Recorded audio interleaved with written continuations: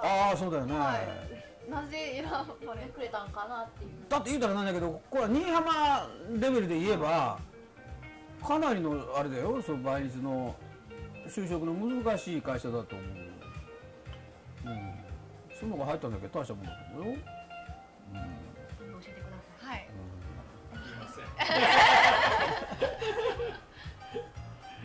うん。そうかもうその会社の話が出たついで言うと岡部君が俺の次男との同級生なんですよ。岡部君確か昭和60年生まれのはずなんだ。まあ早生まれ遅生まれのあるかもしれんけれども、うん、それが今やもう結婚もされて、と聞きましたが、はい。でこれが面白いことに父親が俺と同級生なんよ、すごい。岡部のよっさん言うたよ岡部義行言うんだけど岡部のよっさん言うて今市役所行ってるんだけどうんまあまあ面白いね。やっぱり世代はこうつながっていくのかなっていう、うん、何の話しよったっけ？あ夏休み夏休み。あ夏休みね。あと何かありますか？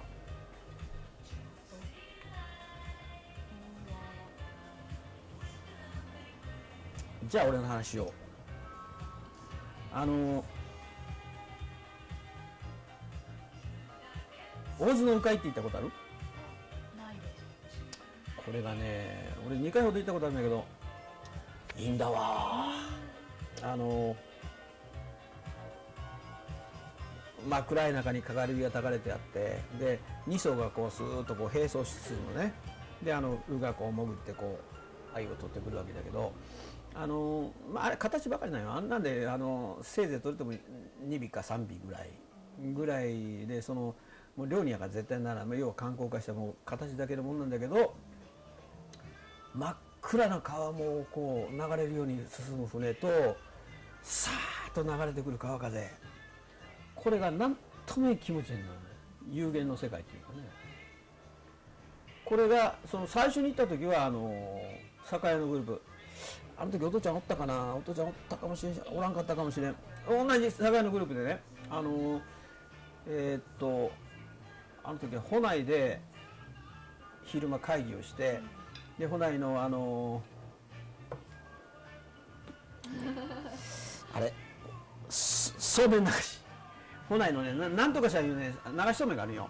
保内のあー名前出した。そうそ昼間そこでその会場を借りてそこで会議をしてそのそうめん流しを食うて夜大津に移動してでその一層貸し借り切りで鵜飼船に乗るわけですよすっごい良かった。もう風が気持ちよくて。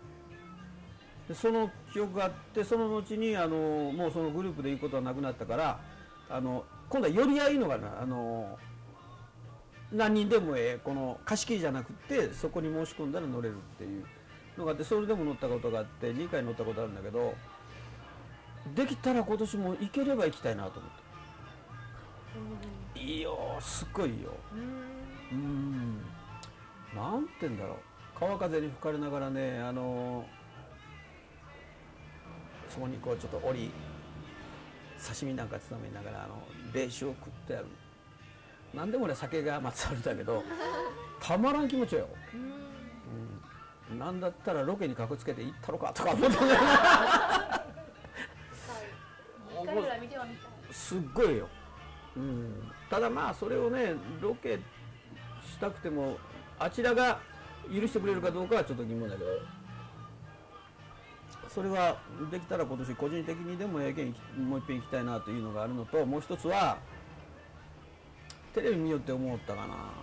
今さなんかやたら宣伝しとるやん。あの「ハリー・ポッター。ああ US」ピンポンピンポンピンポン。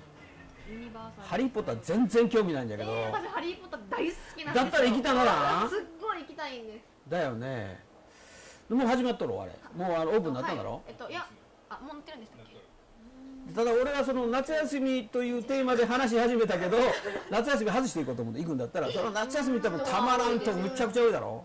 知らなかった？今ねえあんだ「け。ハリー・ポッター」のあの寄宿舎とかねあの舞台を再現しとんだって。もうすっごい行きたいんですよ「ハリー・ポッター」好きはたまらんだろうね。本当に行きたいんです。俺ね逆なんよ。あの USJ の宣伝見てああちょっと見たいなと思って。うん。じゃあ予習しとこうと思って「ハリー・ポッター」の DVD 今3枚借りとんだけど全然見んわ、あ興味のあるやつは興味のないやつみんなねぶたのに途中で見ようたらなんでこの羽生えて飛ぶねんとかあのファンタジーが分からんねん俺、え良さが全然分からん。ー、えー、なんハリー・ポッターとかナルニア国物語とかあの辺のやつも全然わからん。なんとか指輪物語とかのまで。ちょっと全然わからんあの辺も俺全然わからん。この辺大好きなんですよやっぱり。魔法とかファンタジーとかに非日常的なものがだろ？好きでそれこそ私「ハリー・ポッター」の1作目が始まった時って、私たちと同い年なんですよハリーが。11歳で入学するんですそれけど余計やね。一緒に育っていく感じね。賢者の石は見たな。綿鬼みたいなもんや。ん違い。ます違います違います違いますえなりくんえなりくん。じゃないです私本当に大好きで私もいつかホグワーツに行くんだと思ってホグワーツっていう学校に入学するんですけど、なんか寄宿舎みたいなとこ入るよね。あそうですそうです。寮に入って。そこら辺までは見るんだけどいつも途中で眠たんだよえねしまうのー、1作目は相当いいですよ。私はえ13いや俺あの良さがわからんねん。全然わからんねん。えなんでこんなにこんなことになんねん。まあファンタジーだから。じゃあ解説付きで見たら。ああー、本当にもう多分寝る。本も 本も読んで映画も見て。あ好きな人は本読むらしいね。はい最初、まあうん。映画を見てすごい面白かったんで本も買って。本といえば作者が J.K. ローリング？はい。めちゃくちゃ儲けとるやろ。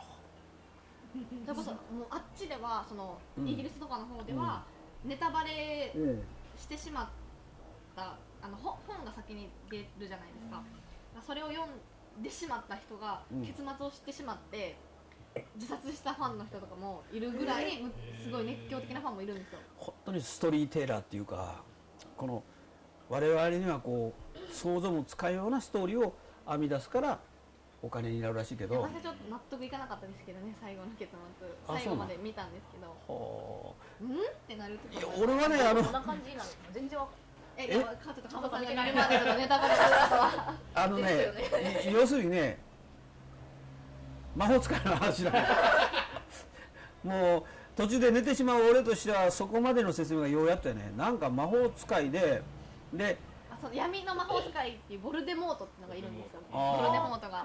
ななんか秘密のあこちゃんのお父さんおるやんか。そんなお父さんの息子みたいな感じ？むちゃくちゃ？むちゃくちゃやね。秘密のあこちゃんわからんか。闇の魔法使い対、うん。そのホグワーツのステートとかそのいいい魔法使いの戦いみたいになっていくんですよこれから、ん。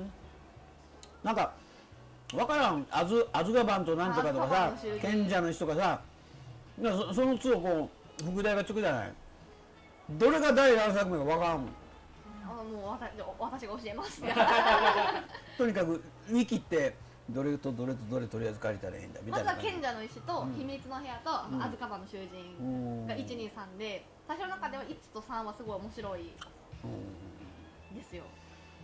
どうも俺多分予習要請も行くように分からんねん。私本当にもういつか自分もホグワーツに行ける日が来ると思って、ハリーで行けたからハリーが行ったからちょちょちょちょ何をおっしゃってるんだ？私にもそのあの手紙が届くんですよ。入学できる子にはそのうんホグワーツから入学してくださいっていう、あそのシーンちらっと見たわ。ふっと目覚めた時にそのシーンだったわ。えー 最初めっちゃくちゃ最初の方ですよそれ、いつか私にも来る日が来るんだと思って。俺ねもう最初見た時は。俺の目標はあの2時間近くある映画ね一回でええけん眠らずに見てみたい。えあれは俺にとって睡眠剤だわ、30分せんうちに眠ったのね。どうしたんやろ？周りの子が、うん。ジャニーズにハマってる時に、うん。もう一人ハリー・ポッター好きの好きの女の子がいたんですけど、うん。その子と二人でもうハリー・ポッターが特集されてる、うん。なんか海外のあの映画せ専門雑誌みたいなのを買い漁ってもうほハリー・ポッターを切り取ってとかっていうのをずっうとあやっぱりそうなんだ。二人だけですよそれしてたの。は いであれ全世界で売れてるんだろだからあのすぐに金のこと言うてよ。あの いかんけどあの人多分何百億いと思いうやもう相けどね当はい。あのもうどうしようもない額もう持て余す額日本の今のその映画のね。興行興行収入は3位がハリあ今はあのアナアナと雪の女王に抜かれちゃったんですけどうん。今まで3位が。だって著作料あの本からある映画からある周辺グッズからあるそれは多分ね2桁億超えて3桁億になるんじゃないかなと思いますよ。で新作もまた売れてるんですよねその JK ローリングさん。ああのファンがついてるから。大人のやつだろ？あ多分そう。大人のやつああ別のやつか。はい別のやつ。俺ねあの大人のやつは読んだんよ。大人 JK ローリングがその、えー新境地の展開みたいな意味合いで図書館で借りて図書館で借りて 読んだんだけどこれはもうあの「ハリー・ポッター」とは真逆あの大人のあのドロドロとした愛欲と嫉妬とみたいなこんな感じ描いてますな。うん、すごいの書いててそれは賛否両論あるね。確か今書いてるのは、まあ、そのハリー・ポッター関係というか多分その前後の話ぐらいを書いてるっていうのを見た気がする。ああ要するにあのスピンオフ的な感じ、はいだったと思うんですけど。よくやるパターンやな。あの2匹目の土壌ってやつだわ。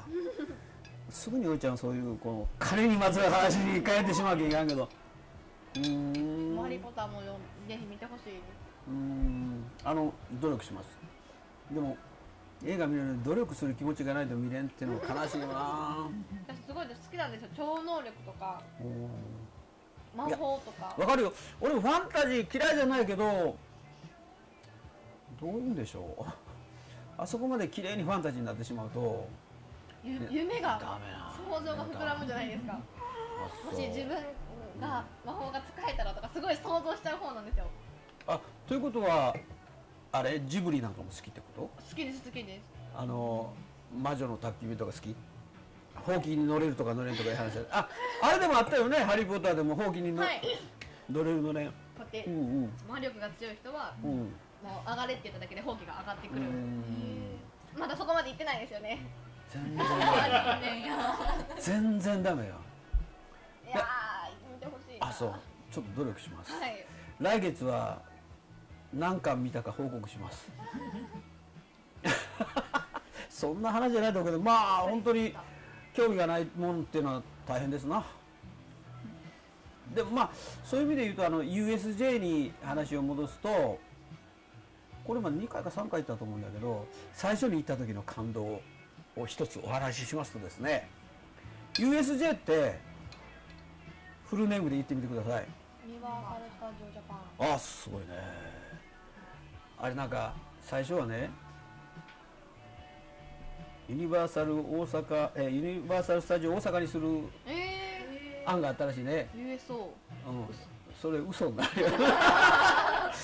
でやっぱり USJ にしようっていうことになったらしいですまあそれは置いといて最初に行った時に感動したのがあのアメリカングラフィティに出てくるドライブイン。アメリカングラフィティ自体がわからんかあの実はねアメリカングラフィティってあのそんなに知られてないけどごくごく低予算で作られたジョージ・ルーカスがうん世に出てくる頃の作品なんですよ。で有名人なんてほあの著名人の映画界でほとんどあのせいぜいがあの、えー未知との遭遇に出てた彼何言ったか未知との遭遇とかねあとあとえーっともう年おるとこれがいかん、ま、要はねその俳優有名な俳優は一人だけ。そそれと,、えー、と世に出る前の、えー、とあいつえっ、と あのねえっ、とカえーカーク・ダグラスじゃないわえっ、とあのーアフリカみたいなとこ行ってムチパシンパシンするハリソン・フォード。ハリソン・フォードだったと思うんだハリソン・フォードがまだ大工の頃。ハリソン・フォードがね一回あの映画俳優目指したけど挫折して大工に戻った。カーペンターに戻った。でそれをもう一遍誰かが呼び戻して、えーもう一遍俳優やった。映画がそのアメリカン・グラフィティなんですよ。でこれがあのあるアメリカの片田舎に起こるその高校生の卒業の日の一日をずっとこう追っかけたドラマなんだけどこれがすっごく良くて俺が洋画の中で一番好きなのがこの「アメリカン・グラフィティ」でそこにたびたび登場するのがこの円形のねぐるっと円形になってるドライブインがあるんですよ。その車でスーッとこう乗り付けたらこのちょっとこんな引っ掛けるようなとこがあってこうそのローラースケート履いたそのウェイトレスがバーッとやってきてで窓越しに注文したらスーッと持ってきてそのそこにドア越しにカカッとかけてくれるとかそういうドライビンがあるんだけどそれがさっくりそのままあってポーンと。もうそれに感動してもうあのウォ,、えーウォーズじゃないわ。ウォーズじゃない。何あれ。ウォーズって何？スター・ウォーズじゃない。ちゃうちゃうちゃうぞえージョースむちゃくちゃやな。ジョとかなんかいろんなアトラクションあったけど、えー、とスパイダーマンなんかもあったけど、やっぱり一番感動したのは何のアトラクションでもないそのドライブインを再現したとか。アメリカングラフィティ見てみて。アメリカングラフィティ。いいよ。これはあの俺が大学2年の時だったかな。だから俺が多分二十歳の頃だったと思うんだけどあの当時名画座がいっぱい都内にはあってね、えー、と2本立てで300円だったよ。もうロードロードショーだったら当時でも確か1000円ぐらいしたんだけど、えー、とちょっと型落ちしたそれこそ半年ぐらい前のやつを2本立てで300円で流してるとこあってその時に日曜日に新宿の